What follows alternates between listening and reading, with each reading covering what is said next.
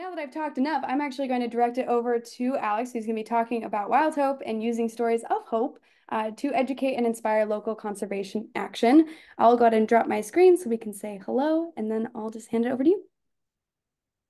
Yeah, hey everybody. I'm I'm so excited to be here. I'm so excited to present and get this up and running. And oh, and I already botched it because I need to make sure that I'm, I'm we're, we're gonna be talking about video, and I want to make sure that I'm optimizing for video clips. Everyone can see what I'm seeing? Yes. Awesome.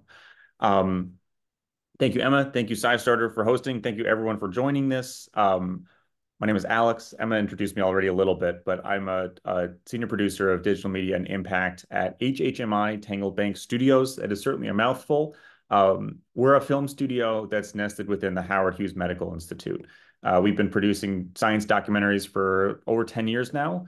Um, a lot of them on PBS, like on Nova or Nature. We've had a couple that have been released in theaters. We had one that was nominated for an Academy Award last year. If anyone saw All That Breathes, that was produced by us. Um, so we've we've been telling stories about science to get the what we think is the most important stories of science and stories of scientists out to the public to better inform the public and uh, on their understanding of and their awareness of science and how it works. Now, Wild Hope is the most it's the current project that I'm working on the most. Um, and it's our biggest project to date because it's our biggest story to date. Why are we telling this story and what are we here to do? I want to, before we get to the actual materials and the actual video, and we'll show some video clips, I want to talk about the why. And this spawned from a recognition of this immense crisis that we're in the middle of as a society today, and that's biodiversity loss. Um, you know, we recognize that climate change and biodiversity loss, in a lot of cases, we talk about as very different things. Uh, they're very connected. I will fully acknowledge that they're very connected. Cl there are a lot of stories about climate change, and biodiversity loss is something that is often pushed off to the sidelines. But at the same time, this is a problem that has local causes and oftentimes local solutions. Biodiversity recovery or protection is something that individuals can get involved with and where they can make a difference. It's it is hard to say the same thing about climate change sometimes. Climate change is solved at this geo global scale, whereas biodiversity loss can be combated right in your backyard. So, um, oops, oh, I didn't realize that scrolling. Sorry, I was fidgeting with my mouse. I didn't realize it would flip to the next slide. So when we talk about local solutions, this can be anything from local activism uh, in order to protect a patch of land or to turn a patch of land in, into a protected area or a park. Um, this is citizen science efforts. We've partnered with SciStarter quite a bit, and I'll talk about that in a little while, about all of the activities like iNaturalist or HerpMapper we're promoting again next week. These are great activities that scientists need this data in order to protect species. So it really is something that anyone can get involved with to help stem this, this decline in biodiversity. Um, and then, of course, we're telling some of these big, immense stories as well. We've got a story of uh, dams that are being torn down in the Pacific Northwest in order to allow salmon to return to the rivers in Olympia National Park or Olympic National Park. Um, we've got uh, uh, a story about New York Harbor and the Billion Oyster Project, where a school group led out of the Harbor School um, on Governor's Island is working to uh, seed a billion oysters into New York Harbor over the next several decades in order to rebuild the oyster reefs, filter the harbor naturally, and create an ecosystem that animals can thrive in once again. These are massive scale stories, but our our approach as storytellers is to make sure we're focusing on the individual eff- the individual efforts, the change makers, the people, the alliances, the volunteers, the teachers that are leading to this change and that are inspiring hope what makes a wild hope story a wild hope story is not that it's about biodiversity loss. It's about the recovery. It's about reversing that trend. It is about a hopeful solution. And there are thousands of these stories. We have a list of 500 of that we would want to tell.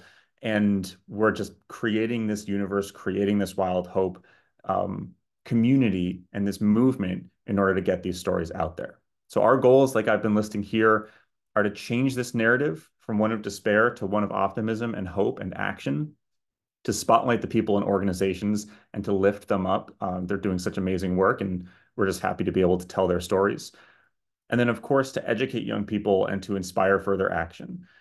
if we do our job well as storytellers and video producers and inspire that moment of hope, we realized from early on in this project, we better have something for, pe- for people to do to get their hands dirty or to participate in citizen science or to know where they can then volunteer and activate. Um, and we've seen it. We've been able to tell these stories that convince audiences or awaken audiences that anyone can be an agent of change so let's make the content available for them to do so. And that's one of the reasons that we've had such a strong partnership with SciStarter. So I would love to, um, I'm going to show the trailer for our project. Uh, we released eight, like close to half hour films in 2023. And now we're in the middle of our second batch of episodes, which are shorter and we release two a month. Um, this is going to give you a broad scale vision of what I'm talking about, what this looks like, and what this, what, when I say inspiration, what that really means. We've seen ecosystems collapse. We're seeing it all over the world. But given a chance, we made a choice. We took a different path. Life can rebound. We began the world's first youth-funded nature reserve. We can protect the whole landscape and all the biodiversity there. From the wild front lines. There's really a grassroots effort. To our own backyards. We're trying to restore nature where we live. Local solutions wow. are showing the way. Let's go, let's go, let's go. We've only scratched the surface here. We know that you can heal the land. It's incredible. Who's with me? Why shouldn't we be ambitious about this? Wild Hope. We have the chance to save these places. That's a little tease of what Wild Hope is. And um, I can talk a little bit more. I actually just saw a question in the Q&A, and we'll get to this now. All of this content is available on YouTube globally for free. We want people to find it. We want people to use it. We want people to host events. We want people to share it as much as they can. So um, yes, it's it's all it is all out there free of cost. Our our job we are uh, HHMI, Howard Medical Institute, is a philanthropy. We are non for profit, so we are not trying to monetize this. We just want these stories to get out there and to inspire action. So I mentioned um, that they're on YouTube. We've got a close partnership with PBS Nature, so they our content lives on their channel and they help us distribute the materials.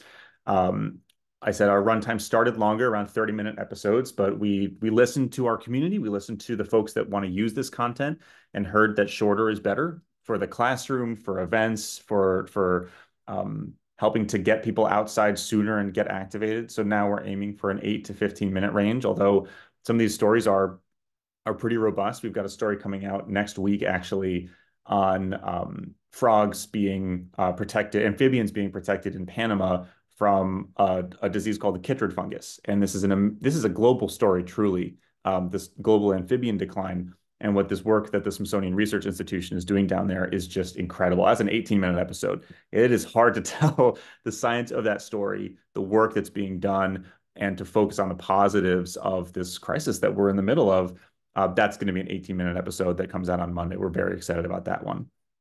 So to stress, this is a global range of stories. Uh, Australia, Africa, UK, um, in the US, we've told stories from North Carolina, from Florida, from Georgia, from Hawaii. Um, we've got one coming out late in this this year about um, P22, the cougar that was found in Hollywood, and the wild the wildlife overpass that's being built outside of LA. Um, so it is truly a global range of stories, all of which are unified by these ideas of partnership, innovation, and of course, success and hope. Um, and then to complement the episodes, we made sure that there's a network of social media resources that are available to our partners, impact opportunities that we're making accessible to our audience, and educational classroom materials in order to make sure that if we are, again, reaching these audiences and especially inspiring young people, we are empowering educators to use this content and to get this content out there. Um, education, of course, is very central to our mission. I said these are free. They're all available now. Um, I've given this talk to a couple of groups of educators in the past, and I always uh, started off with these prompts. I really do want to hear from you. I really want to hear what we can improve and do better, and I want to hear how we can partner with you. And uh, especially if folks are coming to this conversation, working with or volunteering with organizations that do this type of work. that's exactly where we want to be working with you to get this to get your stories out there and to figure out how to make more of a splash and you'll see uh, this qr code in the bottom left of the screen throughout the the presentation um, oh and roland just put it into the chat too. That's, that's the way to sign up for our newsletter. It is the fastest and easiest way to get updates on what we do. Um, we've got new types of content coming out all the time. We've got new opportunities to engage and to and to give us feedback. Um, and we've got two episodes coming out a year until at least the end of this calendar year, and we're on the precipice of of beginning on production for more content past that. So we are around to stay, and there are a lot of stories for us to tell. Uh, I want to show a clip from an actual episode rather than just a trailer and rather than just talking about it in vague terms. Um, this is a story called Gardener to Guardian that focuses on the work of Mary Reynolds, featured here, uh, a rather unflattering thumbnail image, but we'll you'll see her in action in a little bit.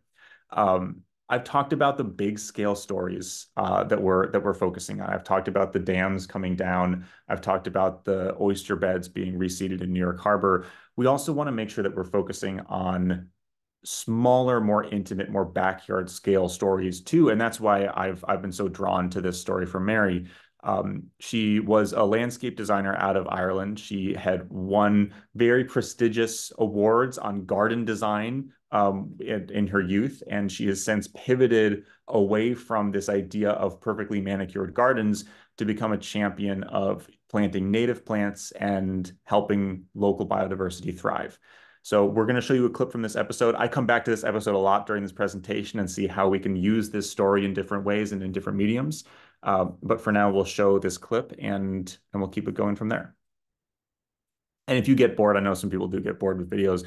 Well, there's the handy QR code to sign up to our newsletter if at any point you get fidgety and want to find something else to do. I think gardens are part of an old world, and I think we need to build a new one. The old world Mary knows is one that's been radically transformed by human development. 80% of her native Ireland was once covered with untamed forest. Now, it's just 11%, and nearly half of the protected species and habitats here are in decline. But Mary believes that each person has the power to help restore nature, here or anywhere in the world.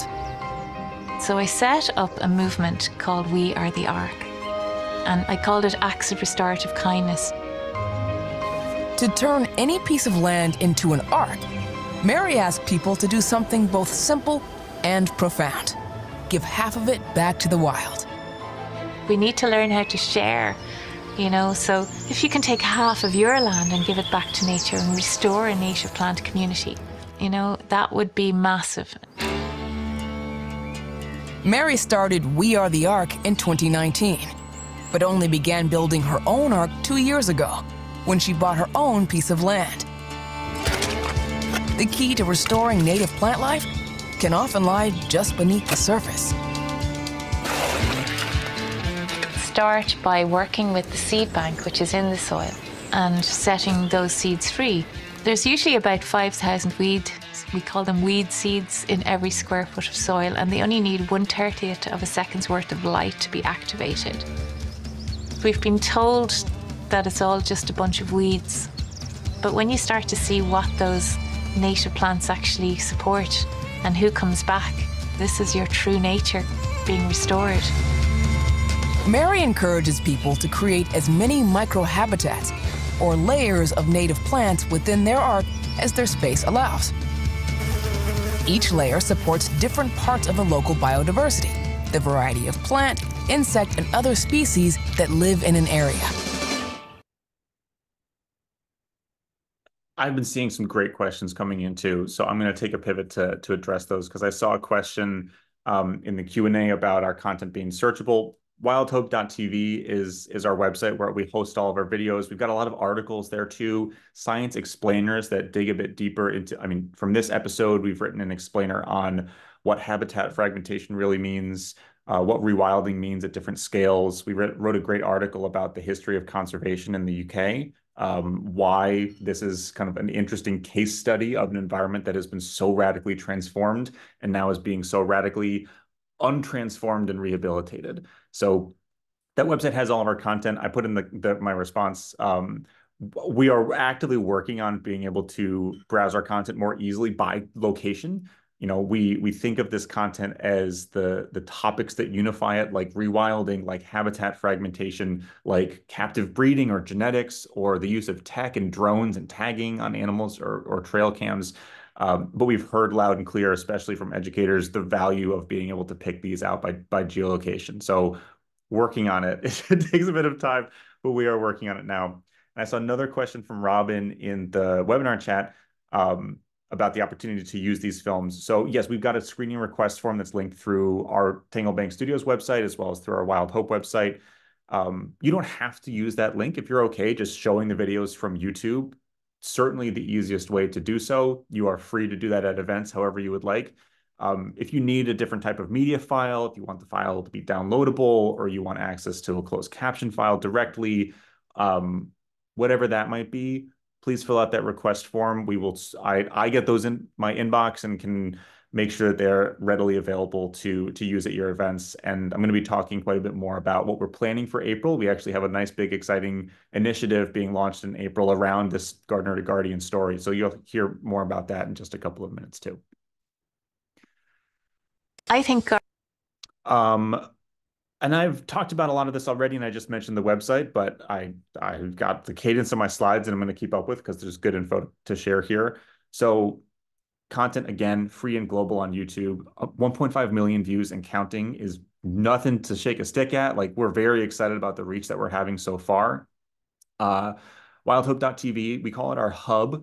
Uh, it links in our um, episode content. Our full episodes can be watched there. All of our partner content, science explainers, educational resources, our calls to action. It's got it all. So I recommend checking that out, especially if you want to see how a lot of our stories connect together or find the full range of the stories that we've got. Um, on Instagram, this is a very exciting place where we've we knew it was a priority for us to reach a younger audience and a more socially engaged community on a platform where they feel at home.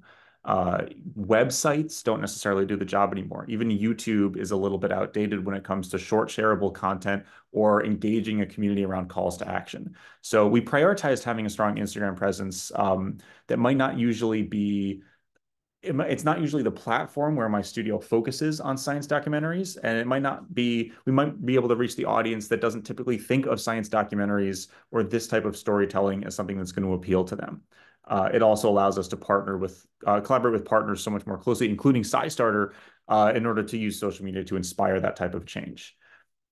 So uh, this is outdated. We, we actually just passed 20,000 followers recently, so I'm very excited that we hit that milestone.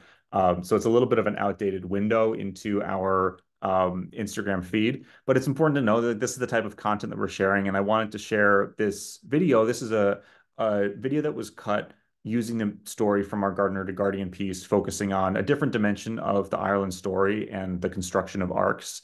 Uh, but I want to share what this what we can do in 90 seconds uh, and what we mean when we talk about shareable content and especially content that drives to actionable change. So I'll share that now.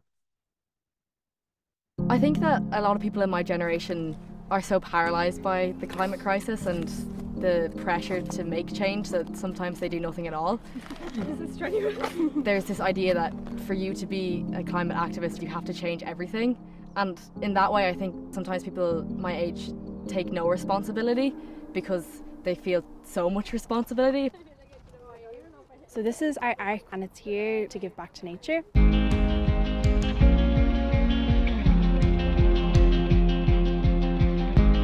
So, it's been growing for the last couple of years and we've all worked together. It's really cool seeing something that started off as nothing develop over time. It gives creatures places to live and you're more likely to have bunnies or rabbits or hedgehogs and things in your garden when they have all the natural plants from the area rather than just like grass. When students came up, it reminded them of the benefits of being in nature. You can even hear the birds right now. They're all over the place. It's lovely. It's nice to just feel like you're doing something for your soul.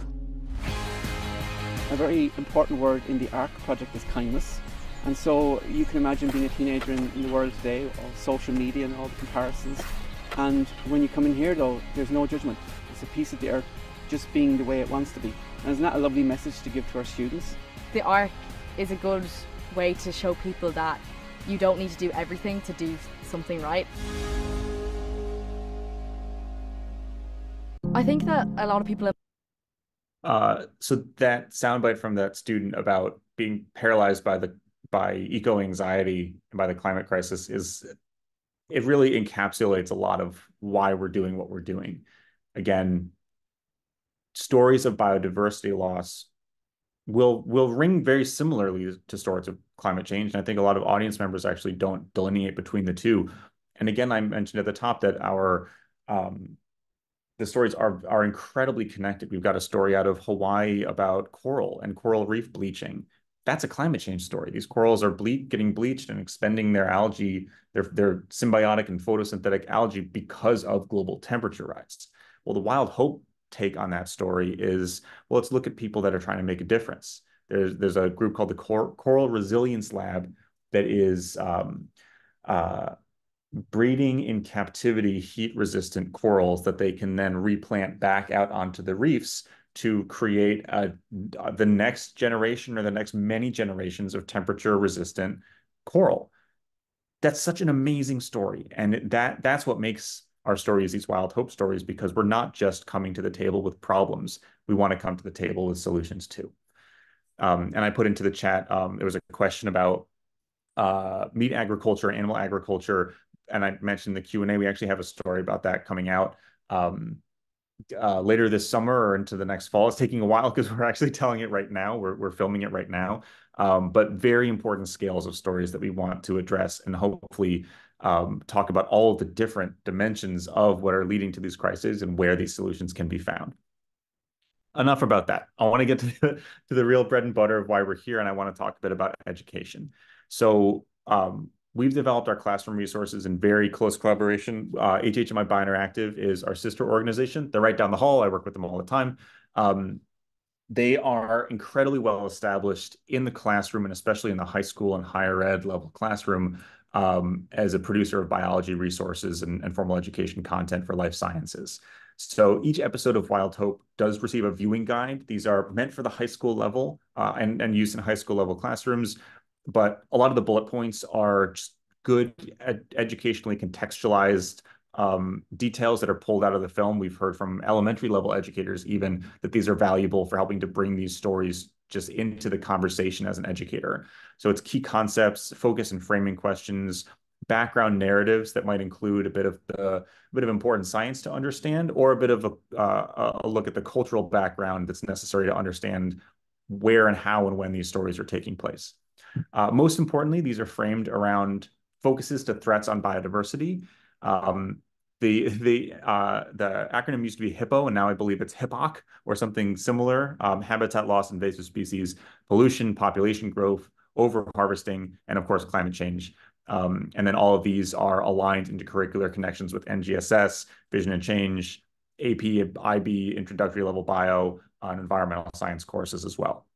And all these resources are available on, on our website, uh, wildhope.tv slash education. Um, and they're also linked through PBS Learning Media as well, if anyone uses that education platform, as well as through um, directly through Biointeractive. Uh, there's a second activity that we produced um, called Analyzing Science Practices and Concepts in Wild Hope, or it could really, it doesn't have to be Wild Hope. That's what's exciting about this episode, this, this um, uh, resource. It's designed as a 50 minute classroom lesson um, intended for the high school biology level to be paired with pretty much any video or short film or story about conservation or biodiversity loss and, and the solutions to biodiversity recovery. So this is kind of a plug and play activity. Um, we know that there's a strong value and need for high quality films um, in classroom settings or in informal science education settings. Video is such a universal language, especially for young learners, and the ability to activate that curiosity through a video format and to inspire that hope through a video format. We know we've done research on it. It's very salient. So we wanted to make sure that uh, it wasn't just video being used instead of lessons. It's video being used and scaffolded through lessons. And that's what exactly what this activity does. So it turns a short film into a full 15 minute, 50 minute discussion.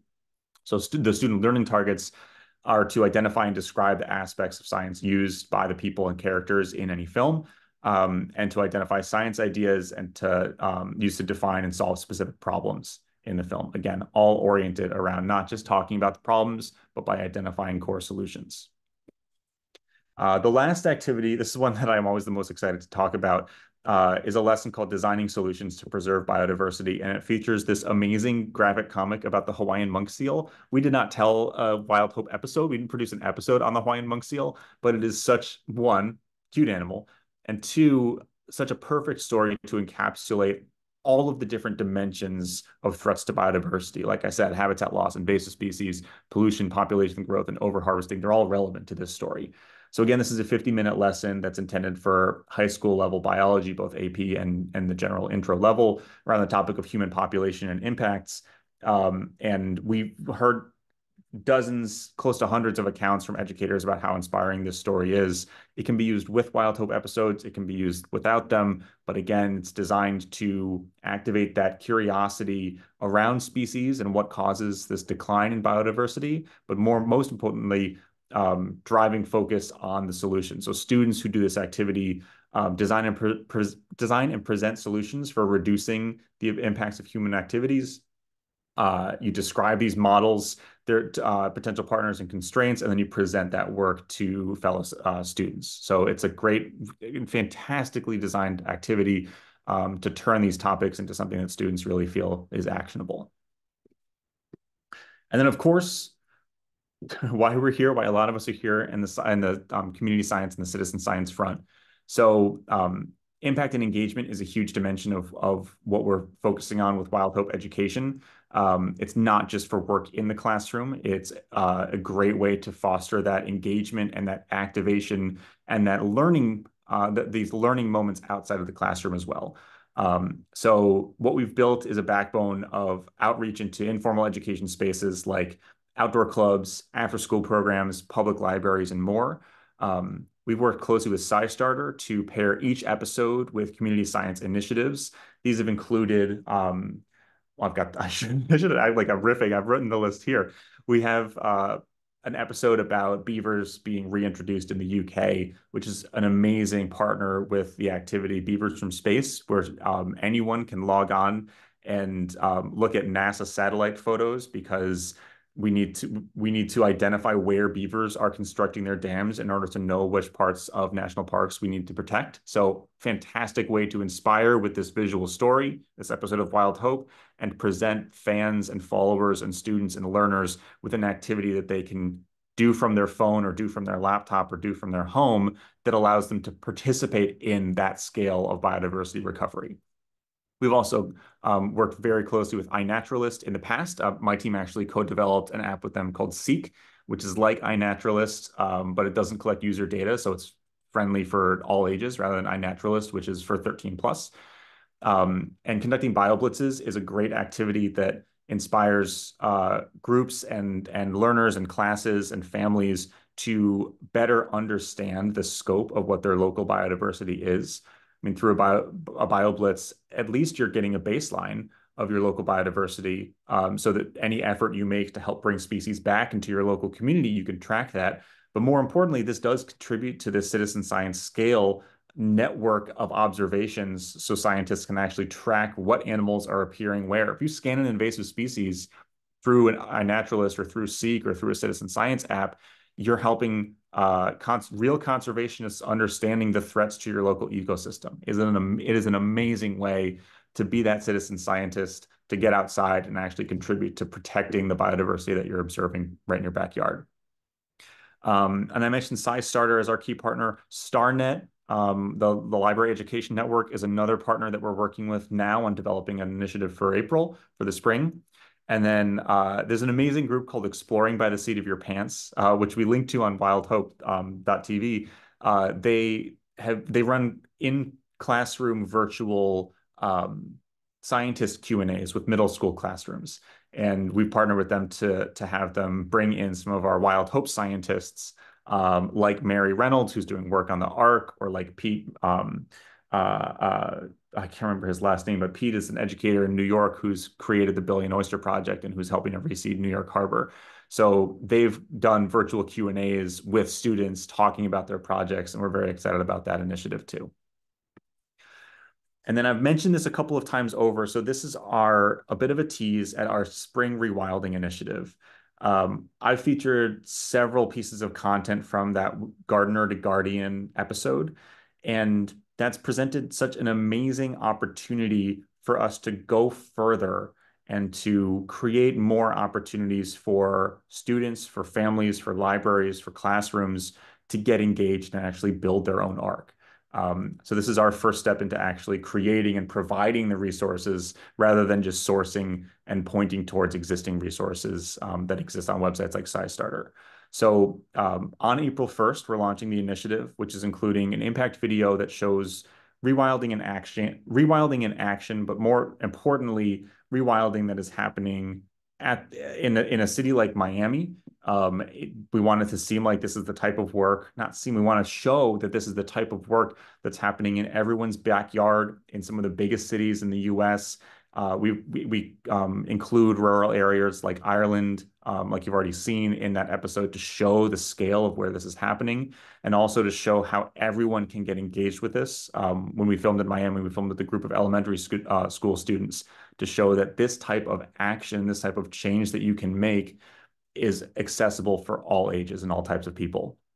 And then these calls to action that are featured in this episode uh, include varying degrees of what rewilding means the organization that's that's run out of Ireland, We Are the Ark, is mostly focused on um, letting nature simply take over, like clearing a patch of land and just letting nature do its thing. It takes time, it can look messy, but that's what nature needs often. It's just that foothold, that opportunity to rebuild on its own time. Now, we also know that there are a lot of organizations out there, a lot of um, rewilding organizations or local garden organizations that have a more active approach where they're actually distributing native plants into communities um, in order for those native plants to be physically planted into these ecosystems where they're much where they're direly needed. We want to embrace both of those sides of the coin. And um, this this short film, which actually which I'll show a tease of in a little bit, is designed to do exactly that. And then StarNet, I mentioned before, uh, they're producing activities to go along with this short film and to go along with the We Are the Ark call to action initiative um, which include uh, a guide to restoring a patch of nature, like just like Mary says, just letting nature take over.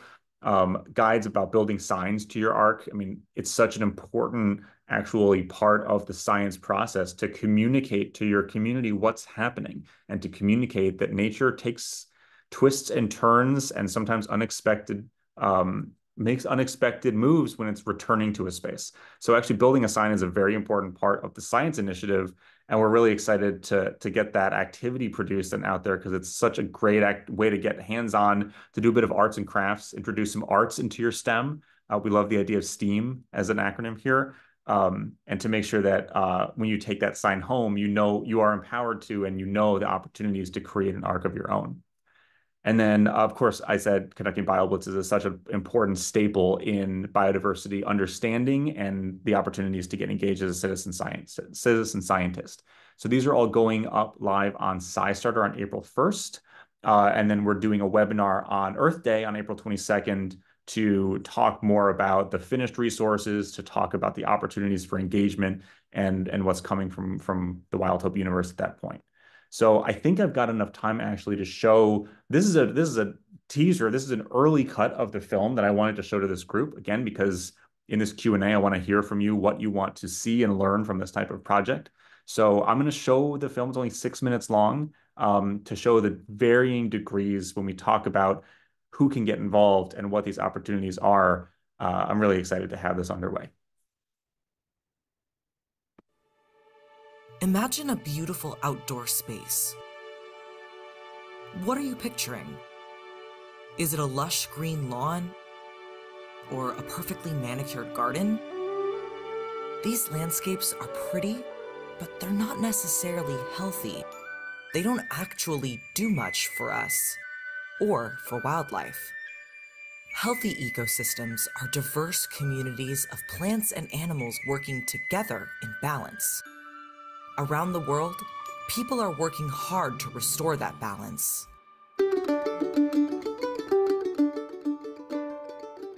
I think gardens are part of an old world, and I think we need to build a new one. the key is native plants. The ones that have grown naturally in our ecosystems for thousands of years and still can, if we let them. We need to learn how to share. If you can take half of your land and give it back to nature and restore a native plant community, you know, that would be massive. Here in Ireland, Mary is bringing back native plants through a movement she calls We Are the Ark. But it's not just in Ireland that people are learning to use native plants as a simple, powerful way to help the natural world.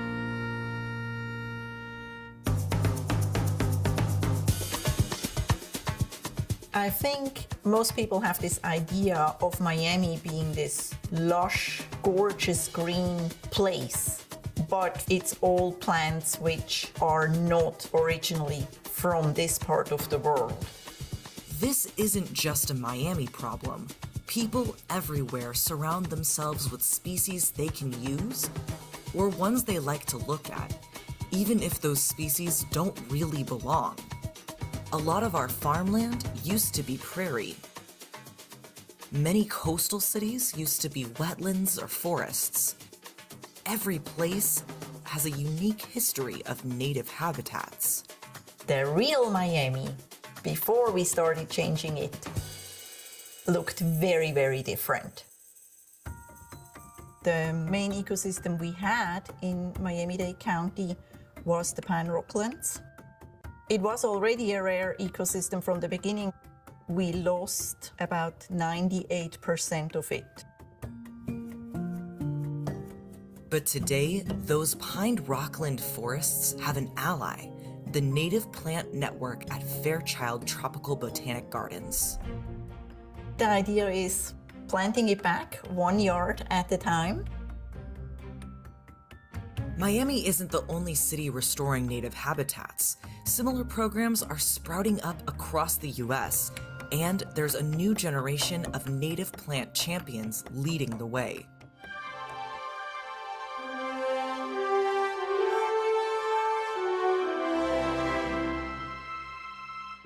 We're always happy when teachers contact us. We think it's very important that we get these native plants onto school properties, but first and foremost also educate. With guidance from Daniela and the Native Plant Network, the students of Pine Lake Elementary are turning part of their schoolyard back into Pine Rockland, one native plant at a time. This space has been kind of a work in progress for about the last four years. And the students are the ones who are the truest ambassadors of this. Some of them can tell you like, oh, I planted that one two years ago. Here at Pine Lake, restoring native habitat means uprooting non-native weeds and replanting native. And having the right tools makes all the difference. If you want to plant in Miami, you usually use a pickaxe. We don't have nice, rich, soft soil. We have coral rock and some sand. But that's exactly what the Pine Rockland plants need and want and love. Whew, we're gonna get our workout here today. From replanting to watering to keeping native plants at bay, young people everywhere are making patches of native habitat their own. And the solutions are as diverse as the communities leading them. Back in Ireland, rewilding a schoolyard meant just letting nature take over, no planting required. In the end, it doesn't matter what you call it a native garden, an ark, a wild patch.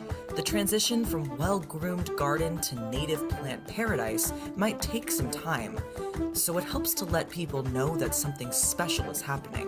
We ask people to put up a sign, and it gives them almost like permission to celebrate what they've been doing. If we really want to bring native plants back, we need a lot of people from the community to participate. It's, I think, so important to connect kids from a young age to what is here, what was here, what can be here again. It doesn't take much to go back to becoming guardians instead of gardeners. Let's reimagine what nature can be in our communities and work together to restore ecosystems that our native plants and wildlife can call home.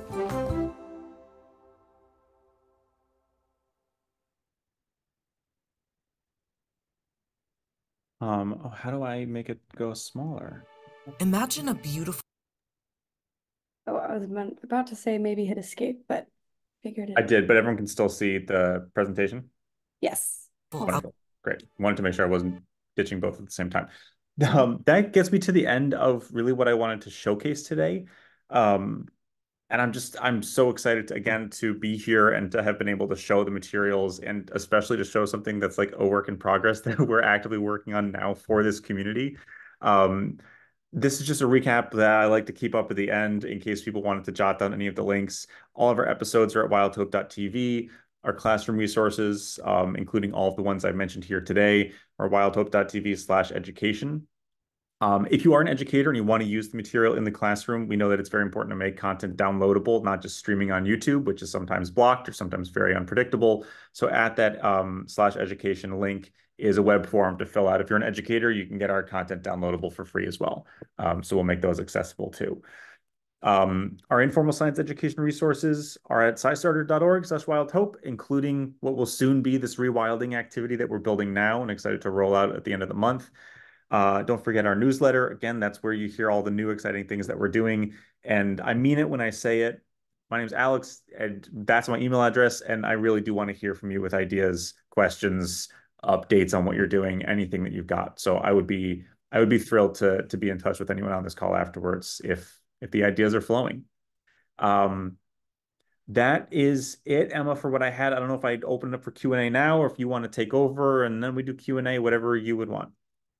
Yeah, um, I will just mention one thing before Q&A, but I did want to say, so Mary and anyone else who is interested in this presentation, I usually send out a PDF version of it, but I'm wondering if this time around I should download it separately so that the videos stay in uh, properly. And so I can send you a different version depending on, um, I'll test the PDF to see if it works, but um, I'll download it as a PowerPoint too, just in case, because it looks like uh, permission to use in presentations like Master Gardeners. I'm assuming, Mary, that you meant this presentation exactly. Unless you have other thoughts, let us know. Um, yeah, we can open up to um, Q&A as well. I, oh, oops, I'm gonna hijack your screen really fast. Oh, sure. um, before we move on to Q&A, I spoke too soon. Um, you've already heard this. Oops, that's the wrong screen. Look at me. I was uh, researching caterpillars on that, but wrong screen. Um, is it the right one? Yeah, okay, there we go.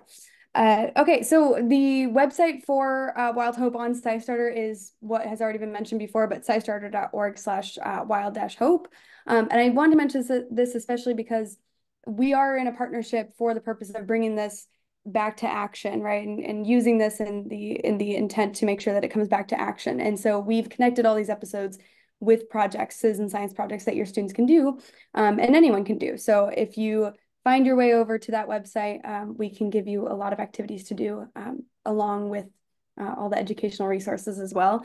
And a little bonus uh, point there, if it says SciStarter affiliate, which I believe most are, if not all, um, those are ones that you can get credit for. So if you're a teacher who wants to put uh, open it up for students to create accounts and just say that they've done projects on the list, um, then that is a really uh, great way to do that and keep track of that. Um, you can also access lists without your um, without the account as well and notify the teacher. So that's always good. And then that last link you've seen a million times, but that's the education page. So all those is to be said, or all those, all that to be saying that all this is meant to be taking this knowledge and bringing it into action. So I'm really glad that we got to see that full video to really see what that fully looks like. Um, and now I'll turn it back over to see if we have um, questions. So this is the Q&A slide. There we go. Um, and I'll actually just stop my share so we can all look at each other. It looks like, can you download the chat too? Yeah, absolutely. I can save the, um, the links. Yeah. Excellent. Um, for the most part, I, I pull the links out of there, so you probably won't get a chat download, but I'll send you the links that were used. Um, excellent. And then, uh, and in case I missed any more, thought I might have um, I'll kick it off with a question. So I've been seeing just informally on social media a lot of educators like I, I saw one person commented on our post and was like i watched the manatee episode with my class. Um so a question for alex is there a way you prefer like if people have a particularly inspiring screening of wild hope or cool things come of it let's say a teacher screens it for her class and they do the manatee citizen science project to make a huge difference what's the best way to collect those success stories on the hhmi end um, believe it or not, we comb through our comments on social media to see who likes our stuff. Um, that is uh, probably not the healthiest relationship with social media and comments on the web, but so far so good. And really, it is it is um, seemingly an overwhelming res- positive response to the types of stories that we've gotten out there. So commenting on content is always great. We're very active on Instagram. If anyone has an account and wants to tag us, we will always respond. Um, and then if there's anything longer or that you would like to to to not have like publicly available on the web, um, you can email us at uh, I'll put I you have my email already. Um, Team Wild at wildhope.edu is our like our group has access to that email address and and that's where we might get you know tricky questions about screening access outside of the U.S., which sometimes needs a little bit of a of a um, conversation. Um, although we try to, we've been getting more of those. We try to make them as accessible as possible. Um, access to downloading some of our stuff from social media. Our, our short social media videos aren't necessarily downloadable unless we make them available downloadable um, to to folks on request. So anything that is not necessarily appropriate for an internet comment, um, send to me or send to that uh, email address, and we will be quick to respond. Excellent. Uh, we do have a hand raised. Uh, Virginia, your hand is raised. I'm going to hit the button for you to uh, be allowed to talk. I'm assuming it's a question. If not, you'll just keep muted and we'll we'll move on. But hopefully that was on purpose. Sometimes we do it on accident. but if you had a question, now is your chance. And if anyone else wanted to say something out loud instead, that's also okay. All right, the hand has been put down, so I'm assuming it might have been a mistake. Sorry, Virginia. Didn't want to put you on on blast there. Um, yeah, I'm trying to think of. I mean, that was very thorough. I'm trying to think of other questions um, that would be helpful to answer. Maybe actually, in uh, for everyone who's interested, we'll have a link for registration for Earth Day. Um, hopefully by the time I send your the the follow up email. So we'll work on getting that so you can immediately just sign up for the next one if you're ready to ready to do that. That would be great. I actually have a question for Alex connected to Earth Day. Um, so let's say I'm an educator. I want to start my own ARK at my school or educational institution. How would you recommend doing that? Uh, that's a great question, and and one one that I feel really prepared to answer. Actually, um, the easiest, it's kind of the easiest step, the first step to take in the world, which is uh, do less. Like that is one way to start an ark is just by doing less to the green space around you. Um, if you want to be active, it can involve um, pulling up invasive species or turning soil to give uh, native plants a chance to take root. Um, you want to be more active, you can be focused on water availability um, in this type of green space or taking down barriers. A lot of animals that we want to come into green spaces um, can't because there's barriers up. So taking those down is an active approach. Uh, and then, of course, if you would like to um, go to a, a, garden store and find native plants, or there are usually networks that are giving these away for free in a lot of um, a lot of spaces through nature conservancies or even Audubon societies will have a lot of these giveaways. Um, replanting native plants by hand is a fantastic way to start too. But again, like the, it is it is kind of a silly thing to say. What can you do? You can do nothing and still make a huge difference. You know, we've had a lot of great stories of people that have seen nature return to their backyards because they're not raking their leaves in the fall or they've stopped mowing a patch of their yard in the spring. Uh, that that's a very very tangible way to actually give organisms, plants, and animals that need those resources a chance to come back. I'm not saying go around and not mow your lawn all spring, but you'd be surprised how many plants and animals need that space. There's actually um, a great there's an initiative uh, that we did in the fall called Leave the Leaves, um, not ours. We partnered with an organization that's been doing it for quite some time. There are um, caterpillars that that are, are sorry, there are insects that need to lay their eggs or butterflies that lay their eggs that eventually become caterpillars um, that need patches of dried desiccated leaves in order to thrive. These are native um, native species that need our help. So it's actually about doing less to maintain green spaces that can make a difference when it comes to giving biodiversity that helping hand. And seed banks also- are fantastic too. We actually, one of our prior projects was um, helping to make seeds available through libraries. And a lot of libraries have their own seed banks as well, which is fantastic. Yeah, and you all just got a sneak preview of what we're going to be featuring for Earth Day. The We Are the Ark project um, is, yeah. and accompanying citizen science efforts are going to be what we're really doing this April with Wild Hope um, and HHMI. So stay tuned, everybody. And yeah, I love that we have so many libraries on the line. Um, you all are ideal places where you can start creating your own arks. I'm even curious if you're, um, for any of you who have pollinator gardens already at the library, I know there's one kind of uh, near me in my local area, and I'm tempted to email them and say, can I make an ark sign for you? or can I assign a an event where you make ark signs uh, for your pollinator garden? Assuming they're all native, but I think it's run by a native species association. Yeah, and usually I think um, I mean very there's uh, pollinator gardens are usually focused on like native pollinators and native plants and that relationship. Um, there's a lot of libraries and schools that will do milkweed gardens, which are native species, to help monarchs, which are a native plant, uh, native insect. So there's yeah, pollinator gardens are a fantastic way to get involved too. And and what's exciting about this project um, and about this idea of rewilding is it can happen at all scales. You can do something for the first time. You can upgrade an existing patch. You can be an expert and have a fantastic native plant garden. And there are still ways to either share that news with your community or to get more involved and make more of a difference and more of an impact. So it's um, it's exciting as as this type of uh, engagement that people can have. And what's it's great that you know we've got episodes from Wild Hope that, like I said, talk about this backyard scale of ecology. But we've got an episode in a couple of weeks that's about reforesting the Amazon, or, sorry, not the Amazon, the Atlantic rainforest outside of Rio de Janeiro.